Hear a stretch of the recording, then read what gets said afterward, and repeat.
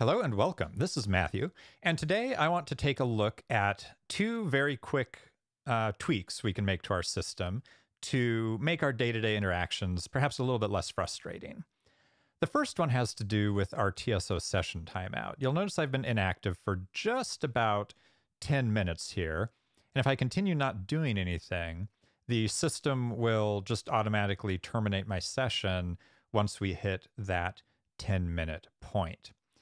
Now, that may be good on public systems with a lot of users. If a user walks away, you don't want them to continue tying up resources. Uh, it could be a security concern if somebody just walks away from a terminal and leaves it logged in.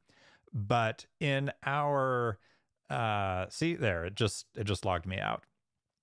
But for my system, you know, I may have a screen up, and because I'm still learning a lot about the mainframe and trying to figure out how things work, I may get somewhere and then spend quite a bit of time trying to find documentation and reading the documentation, uh, perhaps working on putting together some code or a JCL job stream over on the Linux side of things in an editor. And I hate flipping back over to my MVS TSO session only to find that whatever I was in the middle of is gone and I'm just sitting here at the logon screen. So let's go ahead and change that.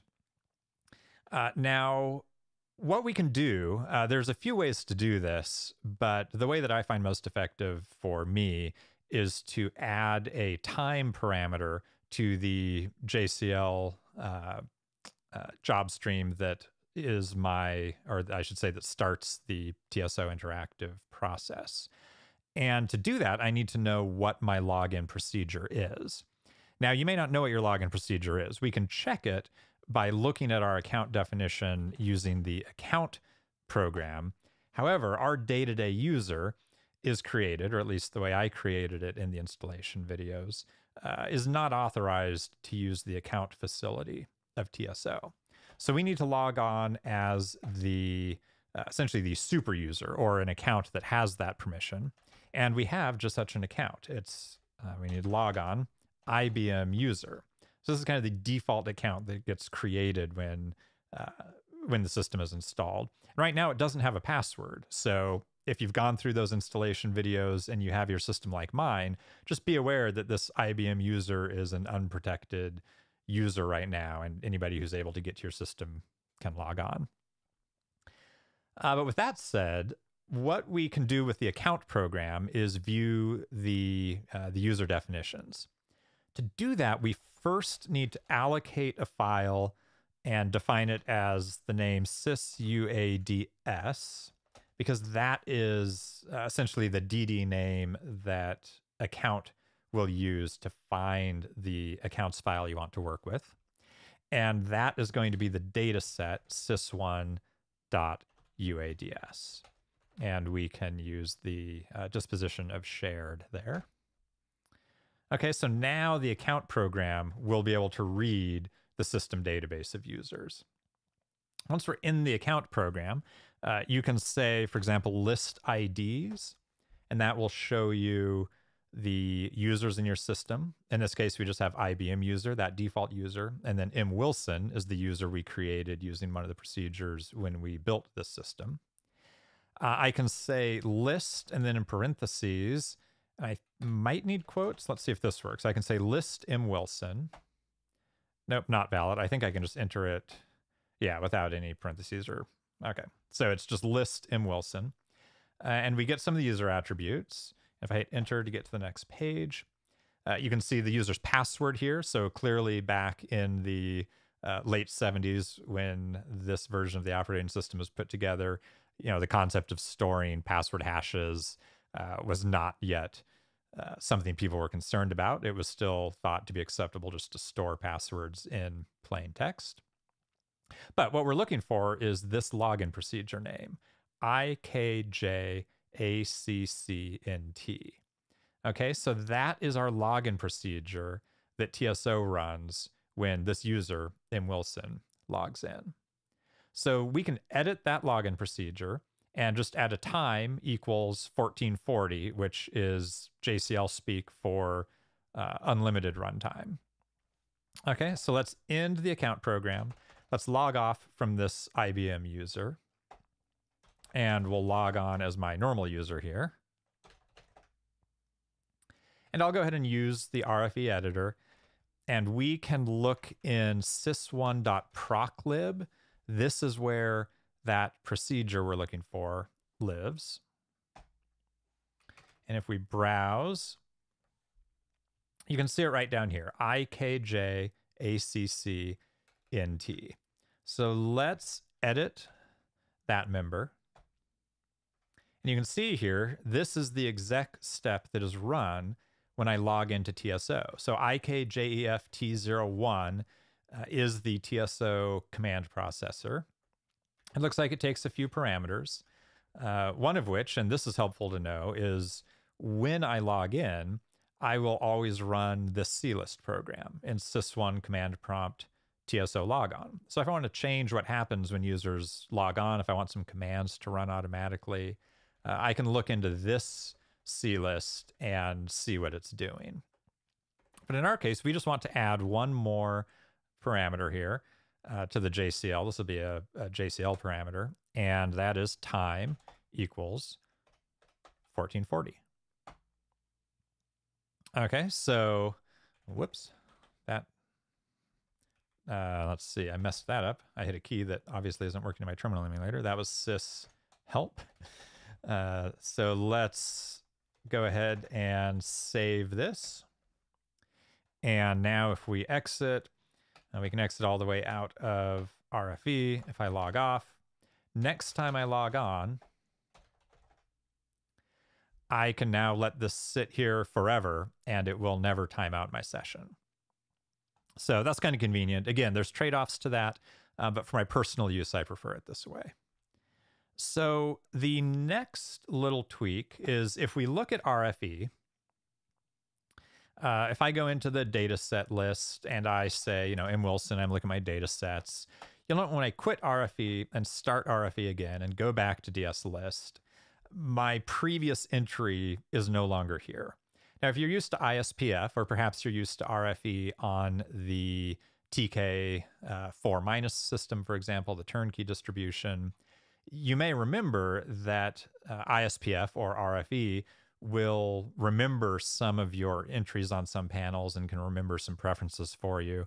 And that can just be kind of nice because I'm often coming back here and wanting to look at my own data sets. So it's likely that the last data set prefix I had entered here could be the one that I want to work with.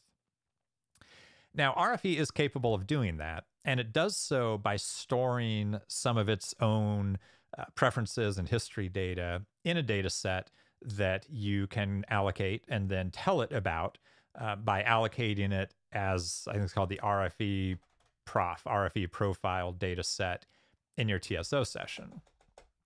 And in fact, if we look in sys1.commandproc, let's browse that. There's this rev init member, which I'm going to edit. And this is a CList that will do just that. It will create a variable named prof uh, DSN.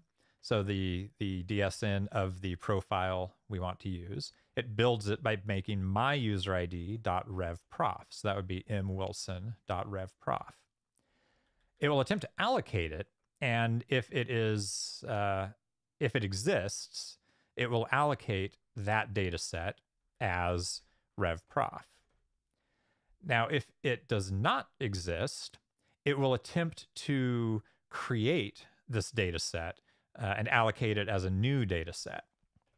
So if we look down here, it will uh, make it as a, a fixed block length 80 with a block size of 2960. Uh, and it will uh, create 10 directory blocks, two tracks, uh, and then two uh, alternate tracks. So, right, you can see how it's creating that new data set down here. Now, there's only one problem with this. If we run this as is, uh, we'll get a complaint uh, or an error message that the volume does not exist or the volume isn't available.